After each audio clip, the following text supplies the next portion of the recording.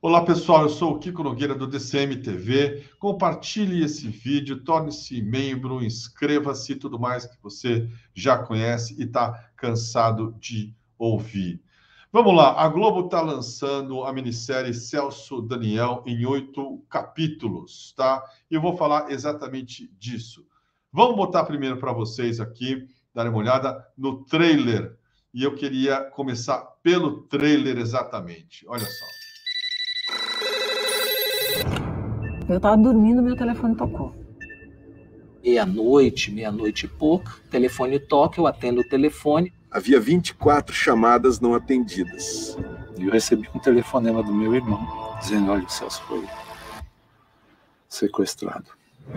Acompanhamos a polícia caminho do Desde que o Celso se elegeu prefeito, Santo André se tornou, na época, uma espécie de referência de boas políticas. Todo mundo ficou feliz. Acho muito difícil o Celso ter um inimigo capaz de querer a morte dele e uma morte bárbara como essa. Executado com vários tiros. Marcas de tiro, pneu furado e vários. Ele ficou com medo, ele abriu a porta do carro. Foi uma comoção muito grande de toda a cidade. Essa é a fila das pessoas que vão dar o último adeus ao prefeito. É uma coisa inacreditável, porque não podia acontecer isso com o Celso, né? A partir daí virou um caos. A polícia diz que Celso Daniel não foi vítima de um atentado. Tem uma história muito diferente para contar. Fale a verdade.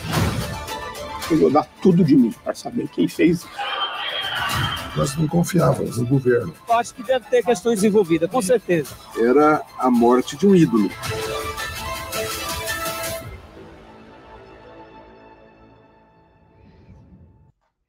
Vocês viram aí o trailer da minissérie O Caso Celso Daniel.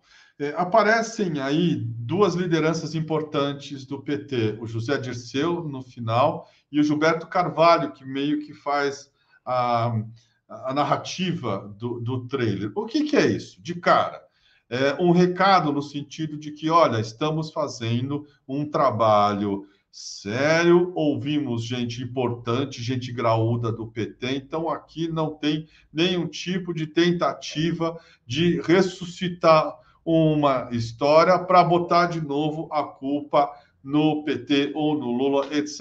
e tal. É um truque manjadíssimo e um truque que você não precisa ser muito inteligente para perceber que isso, na verdade, é um verniz que os produtores passaram para exatamente dar essa impressão, mais ou menos como os colunistas da Folha de São Paulo, de esquerda, ou negros, ou feministas, que dão a impressão de que a Folha é um jornal moderno, na verdade, é um jornal carcomido, profundamente reacionário, de direita, mas que tem gente fazendo esse serviço para a imagem é, da Folha de São Paulo. De uma certa maneira, esses próceres petistas estão prestando o mesmo serviço para essa produção aí.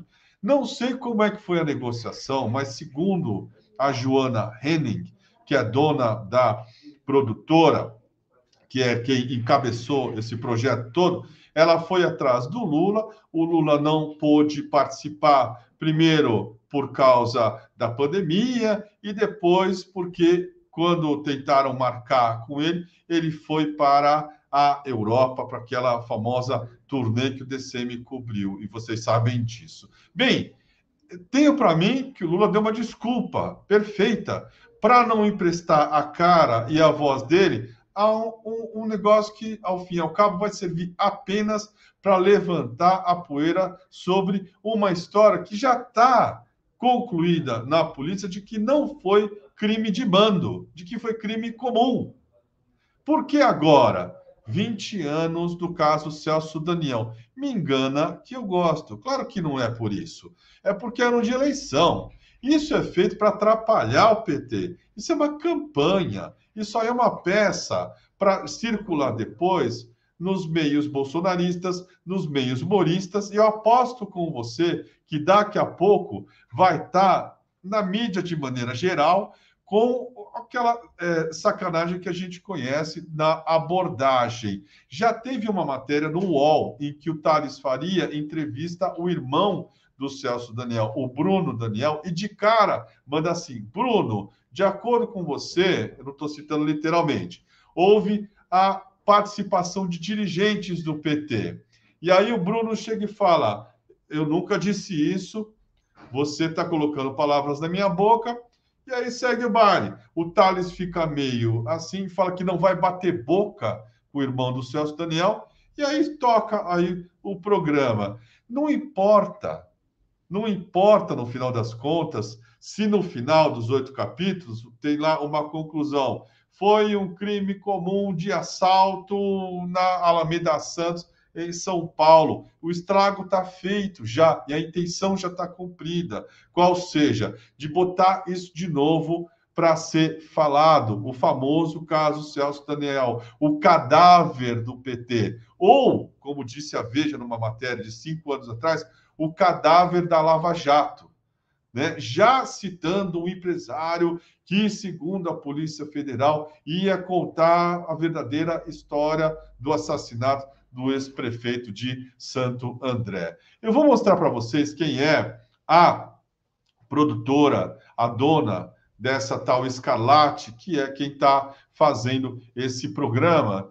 Só para vocês terem um pouquinho assim do background tá, da figura. Se chama Joana Henning. A Joana Henning, ela é casada com Pedro Parente, que é esse senhor aqui, ex-presidente da Petrobras no governo Temer, ex-ministro do Fernando Henrique Cardoso. Os dois estiveram numa premiação do ex-juiz Sérgio Moro em Nova York em 2018. Premiação essa organizada pelo João Dória, pelo LIDE, aquela picaretagem lá que o Dória comanda havia banqueiros, havia celebridades, subcelebridades, havia ali parte daquela elite que apoiou com tanta gana o ex-juiz Sérgio Moro. Está aqui um pouquinho mais para frente o Pedro, né? A Joana não aparece nessa foto, ao lado do Moro, com essa cara de barreco deslumbrado dele, um careca atrás, e a Conja aqui do lado, olhando embevecida para o Pedro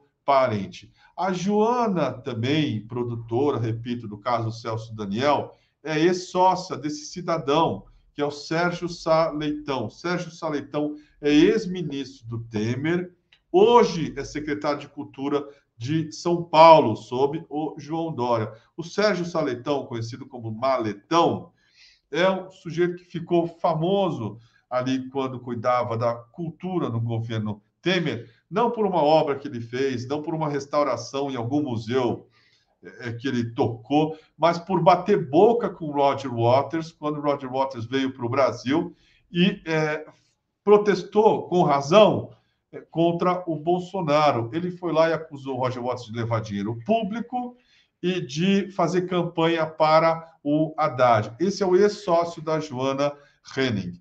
Tem muita gente dizendo ali, inclusive pessoas que leram a matéria que escrevi sobre isso, que há uma certa má vontade, que a minissérie é escrita é, e, e, produzida de uma maneira honesta e que tem revelações, e que olha lá, tá lá o Zé Dirceu, tá lá o Gilberto Carvalho, tá lá o Suplicy, tá lá o Fernando Henrique Cardoso dando depoimentos, e que, portanto, a coisa estava sendo feita de maneira é, honesta. Eu acho que isso é conversa para boi dormir.